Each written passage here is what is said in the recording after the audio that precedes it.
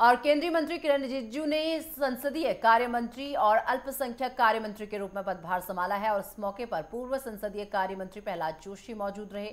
पदभार संभालने के बाद केंद्रीय मंत्री किरण रिजिजू ने पीएम मोदी का आभार जताया है। तो आपको बता दें कि किरण रिजिजू ने किरण अपना पदभार संभाल लिया है और संसदीय कार्य मंत्री का पदभार उन्होंने संभाला है। किरण रिजिजू ने पीएम मोदी का इस दौरान आभार भी जताया है।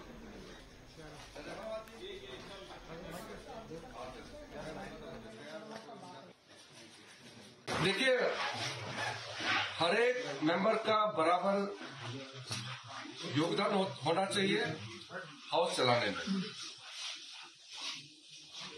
मैं एक बात शुरू में कहना चाहता हूँ कि हमारा मालिक देश का जनता है। देश का जनता ने जो फैसला किया है, उसको सबको मानना चाहिए।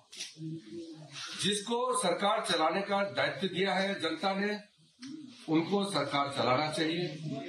जिनको ऑपोजिशन में बैठने का दायित्व दिया है, उनको ऑपोजिशन का दायित्व निभाना चाहिए। सरकार हो या विपक्ष, सबका ज़िम्मेदारी है।